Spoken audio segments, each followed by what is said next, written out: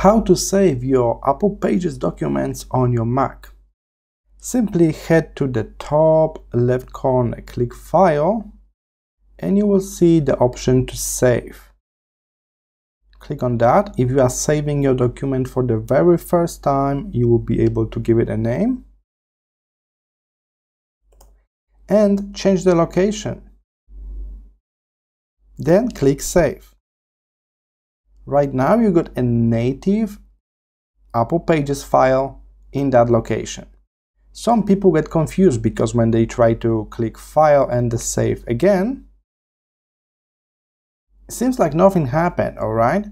In that moment you save exactly on the same file, so you kind of resaving the same file. You don't need to choose the location again. But if you want to change the name or the location, just click here at the top the name of the file and you will see the name and location. It can be changed from here. And I got a new name.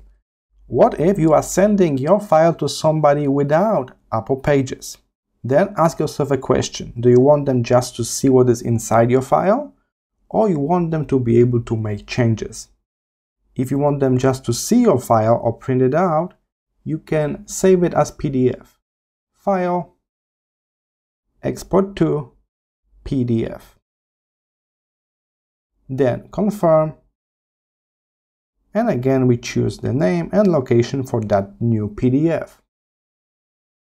Then send that PDF document. But if you want others without Apple Pages to make changes, you may want to save it as a more common format Microsoft Word. Yes, we can do that here.